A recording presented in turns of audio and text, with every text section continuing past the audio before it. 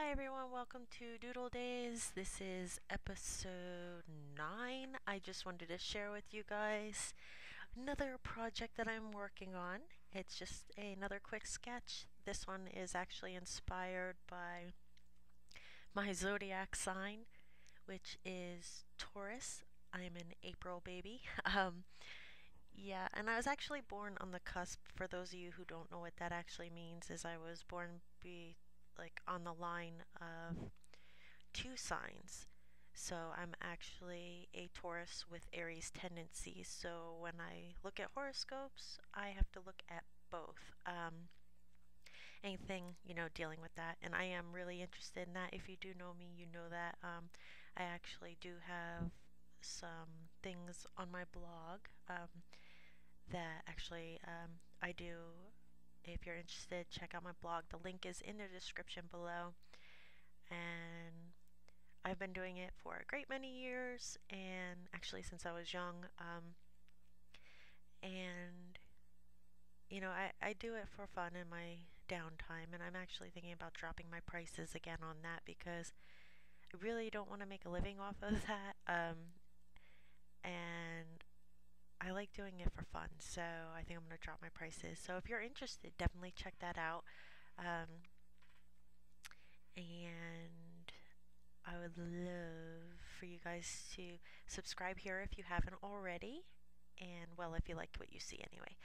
And um, definitely leave me a comment. Let me know if there's something that you want me to talk about or something you might want to see, and I'll do my best to, to get around to those. Here I'm doing kind of a little bit of a fire aspect there because the Aries tendency has a little bit of fire to them. Um, whereas uh, Taurus is an earth sign. And I'm not going to focus on that too much on this video, so this way, um, if you're not interested in that, eh, you don't have to hear about it. Um, but if you are, definitely check out my blog.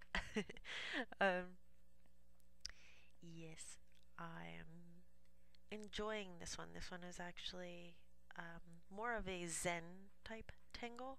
It's uh, really uh, repetitive, so I'm just kind of repeating the same pattern over and over on this. And I really do like how it came out. Um, and I kind of made it like a dream catcher, as you'll see. I do have some threads hanging at the bottom with some beads on it. So it's kind of like your hopes and dreams. If I were to title this piece, it's probably what I would call it. It's uh, hopes and dreams of me, the Taurus with Aries tendencies. Um, yeah, I really do like this one. But to get on with it, I hope you guys have been having a wonderful fall. Um, if you're in the United States or the eastern part that's actually experiencing their fall season. It's my favorite time of year. I love it. And it's October. It's, you know, it's a wonderful, wonderful month for me because I love Halloween. Um, as you all know, I'm sure by now. Um, this is where the video, my, cam uh, my camera died. So I just realized and started it back. So sorry for the clip, the blip right there. I don't know how to do smooth transitions yet, but I'm hoping to figure that out here soon, just in case I ever have this snafu happen again. So this way it's not such a jump for you guys. But um, yeah, sorry about that. But um, yeah, I don't even remember where I was. Sorry. Train of thought is gone out the window. It's fleeting. Um, but yes, it's my favorite time of the month. Halloween is my favorite holiday of all times. Um, I love all holidays, don't get me wrong, but Halloween is my favorite. I love the decorations. I love um, the food because I we do a full-blown Halloween. Um, this year it's going to be a little bit different, unfortunately. Um, the kids are most of them are away pretty much at college. My son is away. Um, my daughter is busy in college, and my two younger sisters are actually in college, and my um, pretty much my two oldest nephews are in college and they're away. They're out of state too, and that leaves my niece, who she's in college here within state with my daughter actually, and my youngest nephew, who's 16. And um, not sure if they're gonna come over, but it's extended to the family. We usually keep it family, but my daughter, I think, is going to be away on a field trip and she's going to be back just in time. Oh my gosh, I'm so excited. She'll be back just in time for the Halloween get together and hoping that um, a few of her friends are going to be able to show up because she's hoping that they can. And we're going to still do the camp out, weather permitting, um, and permitting whether the kids get back too late from their trip or not on the day and um, yeah, we'll do the cookout around the fire and then have some, you know, spooky stories.